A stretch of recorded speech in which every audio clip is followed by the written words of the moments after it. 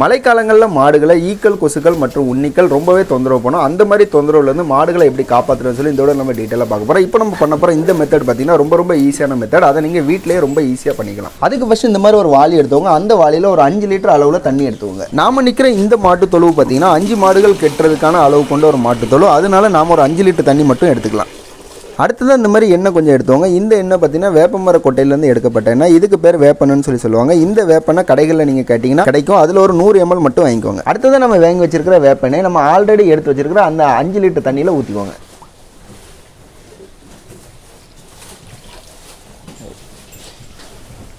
இப்போ பார்த்தீங்கன்னா நம்ம வேப்பெண்ணெயில் ஃபுல்லாக நம்ம ஊற்றிட்டோம் ஆனாலும் அந்த வேப்பெண்ணெய் பார்த்தீங்கன்னா தண்ணி கூட சேரவே இல்லை. இப்படி இருந்தால் இந்த ப்ராசஸ் நம்மளால் பண்ண முடியாது. அதனால நாம் இந்த வேப்பெண்ணையும் தண்ணியும் ஒன்னடியாக மிக்ஸ் பண்ணுறதுக்காக நாம் ஒரு விஷயம் பண்ண போகிறோம் அது என்ன கடைகளில் ஒரு ரூபா இல்லைனா ரெண்டு ரூபாய்க்கு நம்ம தலைகளில் தேய்க்கக்கூடிய ஷாம்புகள் வைப்பாங்க. அந்த ஷாம்பு ஒன்று வாங்கிக்கோங்க. அதை எடுத்து நம்ம ஆல்ரெடி ரெடி பண்ணி வச்சிருக்கிற இந்த தண்ணியில் மிக்ஸ் பண்ணியிருக்கோம்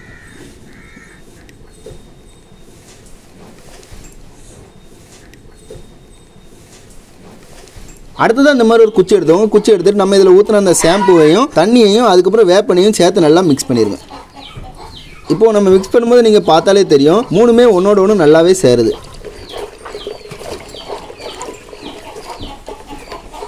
சரி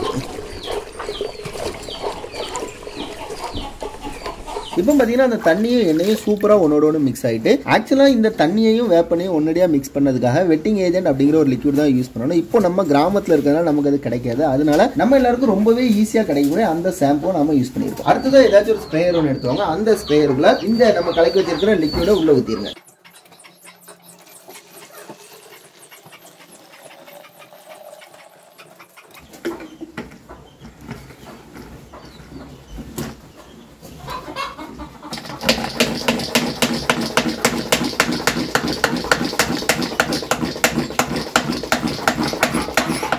இப்போ நம்ம ரெடி பண்ணி வச்சிருக்க இந்த லிக்யூட மாட்டோட இந்த காலுக்கு பின்பகுதியில் மட்டும் அடிங்க. ஏன்னா மின்பகுதியில் அடிச்சோன்னா மாடு வந்து வாயை வச்சு அந்த இடத்த நக்கும். அந்த டைமில் அதுக்கு டிஸ்டர்பன்ஸ் ஆயிரும்.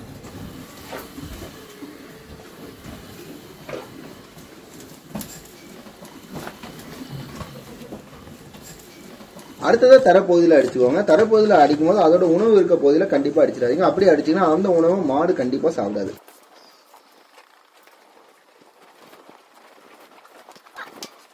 இந்த முறையை குறிப்பிட்ட நாளுக்கு ஒரு தடவை பண்ணுங்க. அதே மாதிரி மாட்டையும் மாட்டு தொலையும் சுத்தமாக வச்சுக்கோங்க. அதே மாதிரி இந்த வேப்பனை வாங்கும்போது விலை கம்மியாக கிடைக்குதுன்னு சொல்லி குவாலிட்டி கம்மியான வேப்பனையை வாங்கிடாதீங்க. அப்படி வாங்கினீங்கன்னா கண்டிப்பாக ரிசல்ட் கிடைக்காது. அதனால நல்ல குவாலிட்டியான வேப்பனையை செக் பண்ணி வாங்கிக்கோங்க. அதே மாதிரி ஒரு ஈ விடாம எல்லா ஈயும் பிடிக்கிறதுக்கு ஒரு கருவி எப்படி செய்யறேன்னு சொல்லி ஆல்ரெடி ஒரு வீடியோ ஒன்று போட்டிருக்கோம். அந்த வீடியோட லிங்க் ஃபர்ஸ்ட் கமெண்ட்ல பின் பண்ணியிருக்கோம் அதையும் தேவையுள்ளவங்க பார்த்து பயன்பெற்றுக்கோங்க.